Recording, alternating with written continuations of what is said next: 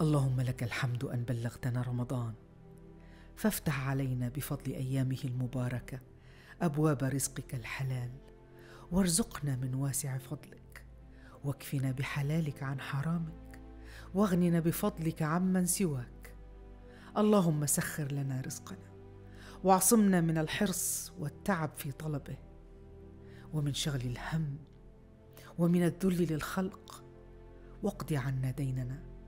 واغن بفضلك فقراءنا وارزقنا برزق من عندك لا حد له. يا واسع الفضل يا أكرم الأكرمين. وصل اللهم وسلم على سيدنا محمد وعلى آله وصحبه وسلم تسليما كثيرا.